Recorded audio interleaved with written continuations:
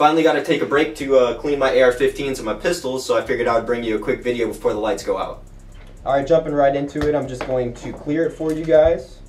Nothing in the mag, nothing in the pipe as I can see. I'm not going to jump too far in depth into Beretta as a manufacturer. They are an awesome uh, business that makes awesome firearms. Uh, this video is more directed towards the Beretta 96D Centurion's ability to chamber swap to a smaller caliber. The native caliber for the Beretta 96D is a 40 Smith & Wesson, and this gives it the diameter ability to go smaller to a 9mm. Here's the barrel that I bought um, off of an eBay page that was a pawn shop. I got it for like $65 because I just bid on it and got it, but I see a lot of these at gun shows because I'm here in Florida and they're pretty much everywhere. Um, the 92 FS uh, magazine, which you could get at uh, Bass Pro, Cabela's, or even gun shows.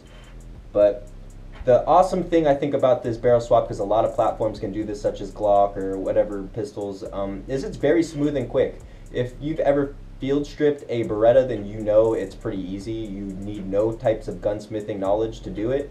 And if you're in a zombie apocalypse type situation where you need two calibers and you need to switch barrels very fast, then this is perfect. So I'm just going to go ahead and go through um, field stripping it and changing out the barrel. I'll walk through pretty fast, but I'm going to assume that you guys know how to field strip a Beretta.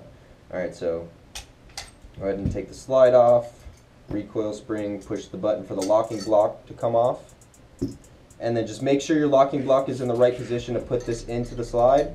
Drop it in and make sure it fastens straight so that you can put your recoil spring on top of that. And then voila, you can just put that on top. Boom. Switch out your magazines. And in theory, you should be able to just fire these 9mm bullets through there. Now that was faster than 30 seconds and I was taking a second to explain it. So imagine if you were in a situation where you had to fire these bullets for your life.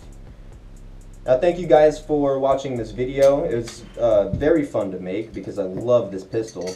But um, if you want any videos in the future on firearms that I have, if you see my background, I got an AR-15 one right here against the wall. I have a few firearms that I think you guys would really like in depth um, please follow, subscribe my channel, and like this video. See you guys later.